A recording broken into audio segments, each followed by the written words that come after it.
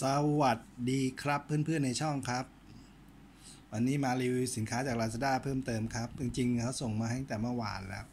พอดีวันนี้ผมพาคุณแม่ไปหาหมอแต่เช้า ก็เลยยังไม่ได้รีวิว ตอนนี้ก็มีเวลาว่างนะครับ ก็มารีวิวกันครับ ตัวนี้เป็นมีดพับนะครับ จริงๆยังมีอีกหนึ่งเล่มนะที่เขายังไม่มาส่ง แพ็กเกจเรียบร้อยดีครับ เนี่ยฮะเขามีปิดทั้งหน้าทั้งหลังเลยนะ ด้านหน้าก็ปิด ด้านหลังก็ปิด เพื่อป้องกันปัญหา สินค้าหายหรือมีต่กล่องนะครับ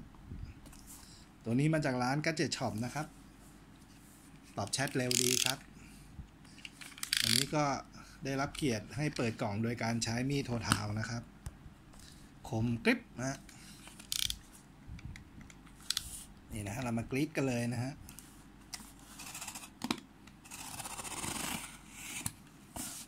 ราคาไม่หลักสิบนะฮะ ไม่ถึงร้อยบาท คมแบบคมกริบอะจับถนัดมือฮะ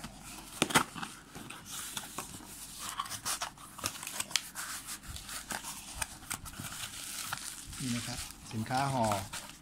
อันนี้เป็นออเดอร์สินค้าห่อมาอย่างใส่ ใส่ถุง bubble มาอย่างดีเลย เดี๋ยวผมแกะถุง bubble ก่อนนะครับ จะได้ไม่เสียเวลา ต่อเลยครับ จากถุง bubble แล้วก็ยังมีถุงซิปกันน้ำนี่อีกนะครับ ถือว่าแพ็คมาปลอดภัยครับ กันกระแทกแล้วก็กันน้ำนะครับ เห็นกล่องเพื่อนก็คงจะรู้เลยว่าเป็นอะไร เพราะว่าผมเคยสั่งแบรนด์นี้มาหนึ่งหนแล้วนะครับ นี่นะครับ ดูกล่องใกล้ๆครับ Browning Stainless Steel Knife นะครับ Browning นี่นะครับ มีอะไรข้างหลังด้วย browning.com นะครับ browning US Morgan Utah browning Canada Saint Lawrence นะครับ made in China นะครับ เรามาแกะดูกันเลยนะครับ ว่าจะเป็นมีดแบบไหนผมจำได้แล้วล่ะเป็นมีด ตรสวยอะ่ะ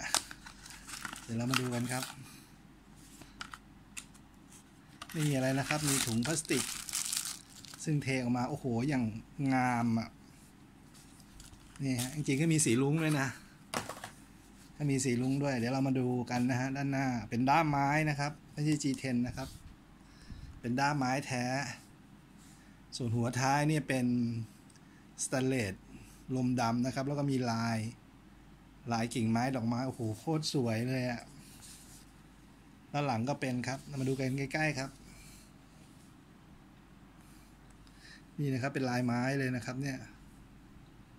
อ่าเหมือนจะมีรอยคล้าย ๆ ลายไม้แตกด้วยนะ เนี่ยนะดูนะ นี่ฮะ เห็นไหมฮะลายไม้แท้เลย โอ้สวยจริง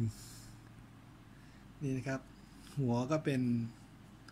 หัวท้ายก็เป็นโลหะนะครับ มีลายอย่างงามนะฮะนี่นะครับ ก็จากที่เคยรีวิวนะครับ ตัวแรกนะครับ ตัวนี้ก็มีระบบเปิดนะครับ เป็น flipper นะครับ แล้วก็ double thumb stud นะครับ อันนี้คือ double thumb stud รมดำเลย เป็น flipper สวยไหมครับนี่ลายไม้ด้วยนะสกรูเป็นสีดำนะครับ ตัวนี้ตัดเบลนะครับ ตัวนี้เป็นก glass breaker นะครับ ก็คือตัวทุบกระจกนั่นเองนะครับฟังก์ชันที่ได้เพิ่มแล้วก็กริปเป็นสีดำนะครับ ลองมาเปิดดูนะครับทำสตัดเป็นไงจะไหวไหมอ่ายังได้อยู่ครับ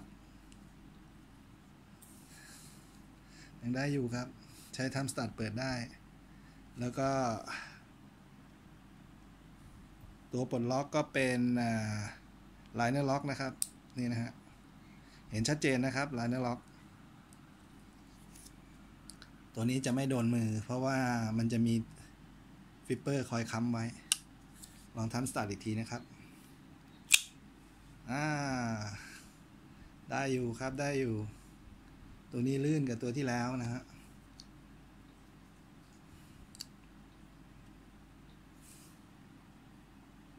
เหมือนเขามีสปริงนะฮะ อ่า เหมือนมีสปริงจริงด้วย นี่ไง นี่นะฮะ เนี่ยให้ดีอะ นี่หน้าผมว่าเอ๊ะทำไมผมเปิดเก่งจัง ที่ไหนได้เขามีสปริง นี่นะฮะ โอ้โห เจ๋งอะ ตัวนี้มีสปริงนะฮะ flipper ก็ได้ โอ้โห เจ๋งเลยอะ นี่นะครับ พับมาปลอดภัยครับ นี่ flipper ถ้าไม่ต้องสะบัดเลยอะ่ะ นี่นะครับ โอ้โห อย่างเท่ นี่นะครับ thumb stud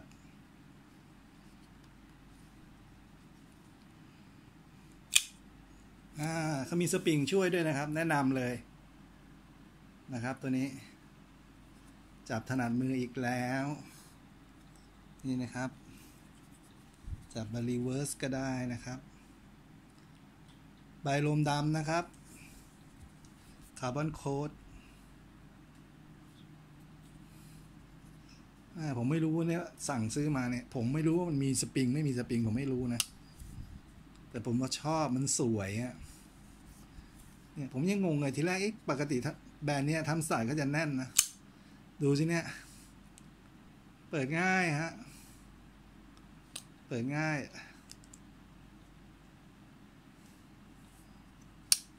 เนี่ยฮะ flipper ก็ได้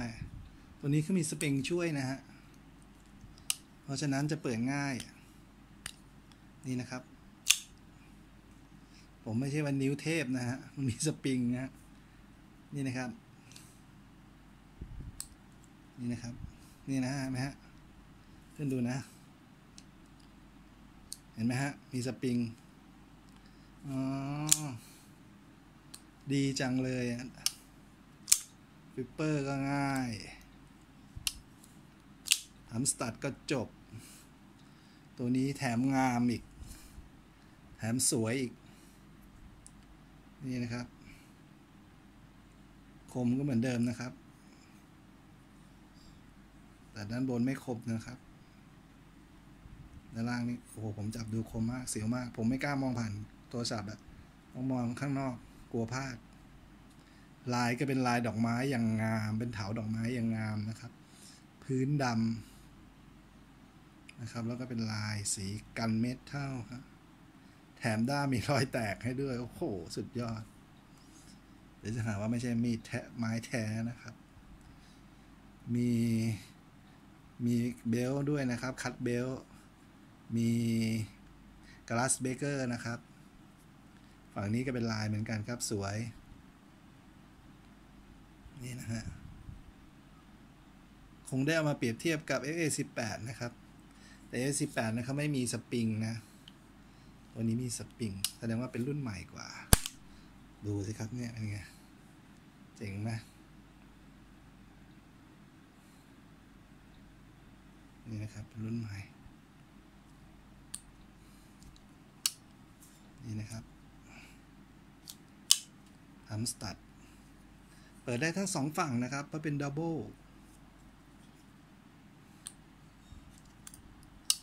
นี่นะครับ flipper จบflipper จบ เอาอีกทีครับ เดี๋ยวจะหาว่าโม้ flipper ครับ จบเลย อ่า thumb stud กันหน่อย thumb stud ก็จบ เขามีสปริงช่วยนะครับ เปิด